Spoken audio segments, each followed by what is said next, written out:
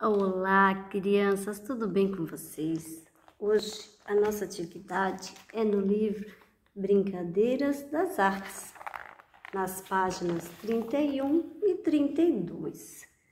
Olhem essas obras de artes, né? É de Gustavo Rosa, né? Olha essas imagens. O que, que vocês estão vendo aqui, né? Os animais, isso mesmo eles são grandes, pequenos, tá aparecendo o corpo inteiro ou não, né? É, vocês conhecem esses animais aqui? Conhecem?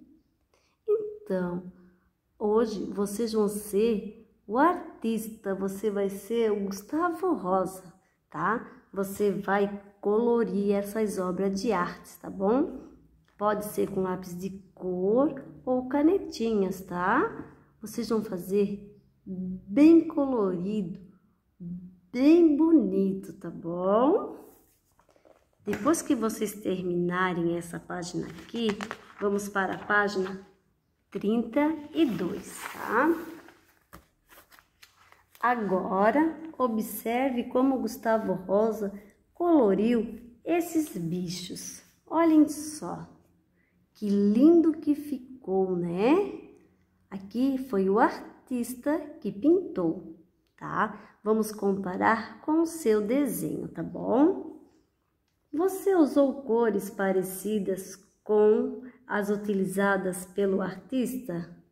Vocês usaram as mesmas cores? Você também coloriu o fundo das imagens? É, ele coloriu todas, olhem só em que suas pinturas ficaram iguais a de Gustavo Rosa e em que ficaram diferentes, né? O que, é que vocês podem fazer, então? Se vocês quiserem, vocês podem bater uma foto da sua atividade e mandar para a professora. Quero ver se ficou parecida ou não, tá? Capriche!